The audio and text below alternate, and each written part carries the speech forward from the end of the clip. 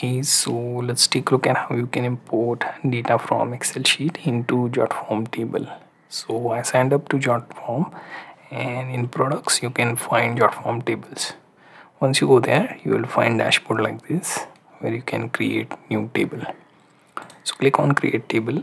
Here you have option to choose from template start from scratch or import data. So here you will import data and you will find this uploader like this. Simply click on upload file. Choose your excel file. Click open.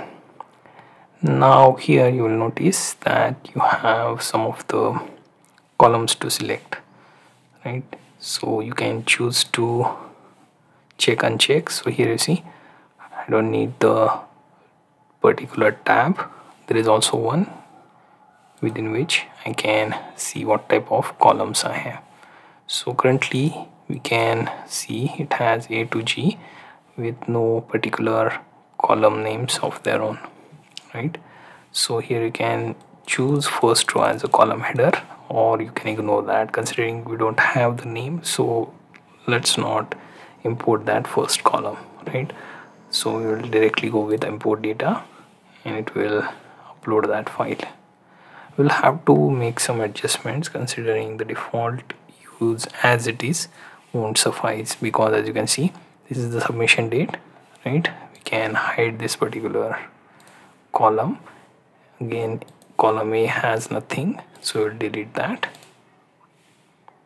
Now here you see the first row here is the column header right?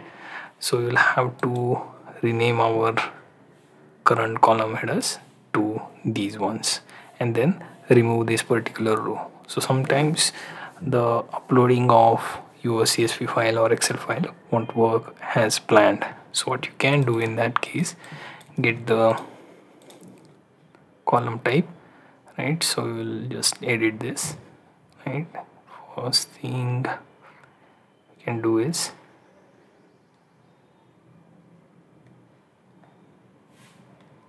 delete the column is one option or if it doesn't give you the option to edit anything you can simply create new.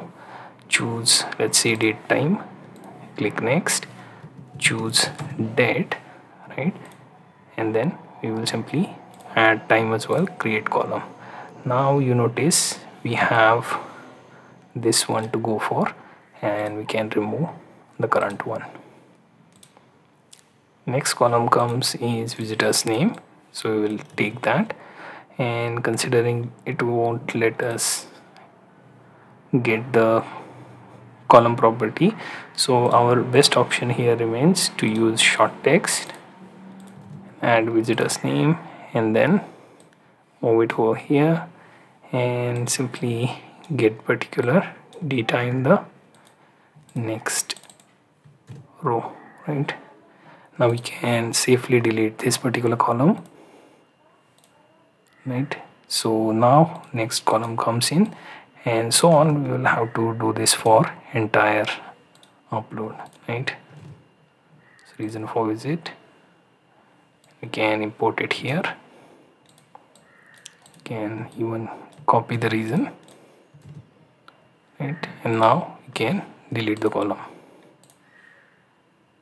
now we have two time in and out options. So we can choose that with new column date time. Time in next.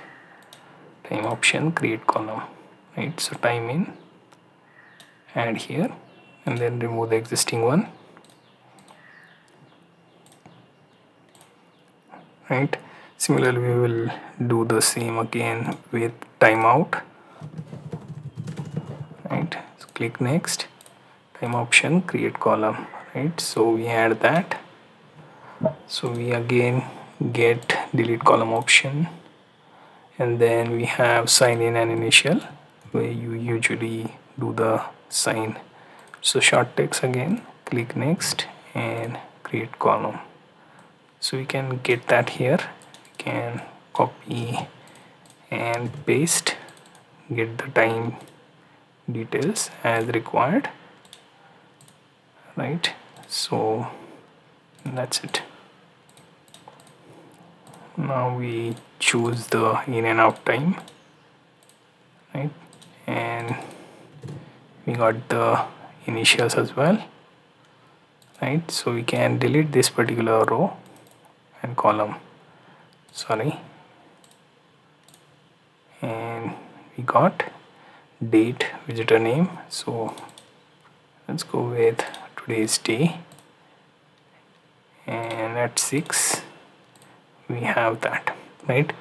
So pretty much we managed to get in visitor details by taking that uh, excel sheet into JotForm and managed to create this table now we can also create a form for this.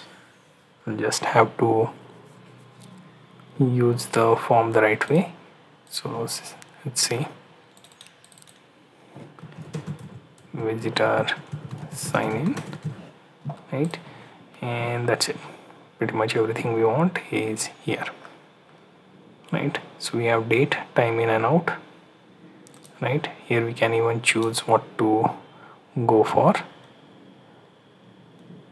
right can see if it's important field or not and then publish the form right then open it in new tab and view this you have visitor sign in from spreadsheet to JotForm table. I know it, it isn't perfect exactly and won't be uh, immediately available considering you will have to fix few things before getting it ready to use as a form as well as for the database.